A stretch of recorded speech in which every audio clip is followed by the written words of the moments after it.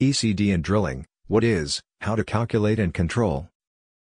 Read full article in www.drillingmanual.com. Link in video description.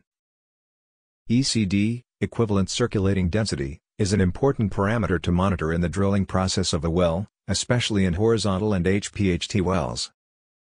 Why do we need to control the ECD in drilling? One most importantly it is to reduce the risk of fracturing and losses to the formation. 2. To prevent well ballooning and supercharging of the formation and thus eliminate of the loss or gain scenario. 3. Minimization of hole instability due to pressure fluctuations. 4. Minimize the risk of differential sticking.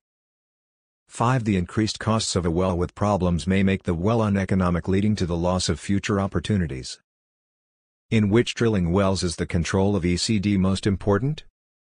1. Drilling ERD or horizontal wells in which the ECD increases with measured depth yet the fracture gradient does not increase significantly due to little change in the TVD. 2. HPHT wells where the drilling margin, the pressure difference between the pore pressure band the fracture pressure, is low. 3. Depleted reservoirs where the fracture pressure has decreased along with the pore pressure yet the mud weight cannot be decreased. What is ECD in drilling? ECD is the term given to the total pressure exerted on the wellbore. It is generally used to indicate the increase in pressure exerted when circulating but it also indicates the increase or decrease in pressure caused by pipe movement. It is expressed as a density in the same units as the mud weight. Major components that affect ECD value in drilling, 1 static pressure component, mud hydrostatic pressure in drilled solids. 2 dynamic pressure component which is the annular pressure loss, pipe velocity, inertial pressures from string acceleration and deceleration, pressure to break mud gels.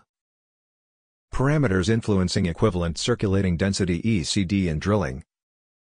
1 annular velocity. 2 depth A, long hole, and TVD. 3 rotation and axial string speed. 4 Cross-sectional area of annulus, CSA. 5 Mud rheology. 6 Breaking circulation, gels. 7 Solids loading. Barite sag. Read full article in www.drillingmanual.com. Link in video description.